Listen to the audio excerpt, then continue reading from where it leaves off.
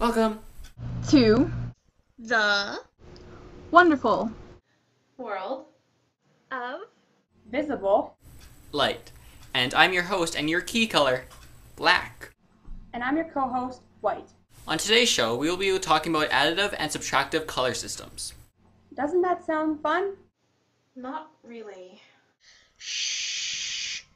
We have to fake enthusiasm. Yay! So first we will be talking about additive color systems. And you can follow along on the sheets that we were given at the start. No, no, no, not that one. The other one. Yeah, yeah, yeah, that one. Additive color systems, they all start out with a black background. Get to the back. Alright. Oh, that looked like it hurt. A little bit. Quiet, we're on soon.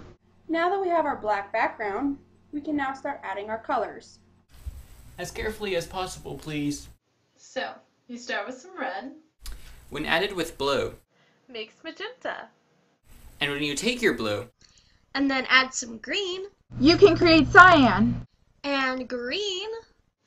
With red, Makes some yellow. When you add your red, green, and blue in equal proportions, you can create the most lovely shade of white. It's important to note that you can also play around the mountain color that you use to create different shades of colors. So that concludes the additive section of this program.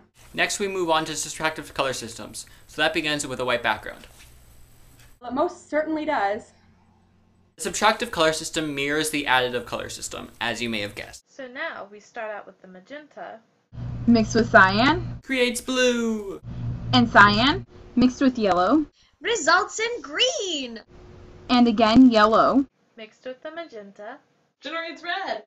And when you mix them all together in equal proportion, you get black. Whoa, whoa, whoa! Black? Yes, black. Don't you get gray when you mix them together? Well, technically, but for this sake, it's black, okay? Okay.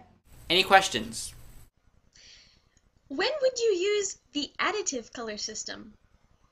Good question. Generally, you use your additive color systems for things like your monitor. So, like how the screen on your computer is black before you start it. Precisely. Any other questions? When do you use subtractive colors? You would use your subtractive colors when you're dealing with printing it. So, like how you print on white paper? Yep, good job. So we hope you enjoyed today's show. Hey, isn't that my job? Not anymore, it isn't. They decided to replace you. No! No! Ugh, dreaming about school again. Well, at least it's not about paper this time. Oi.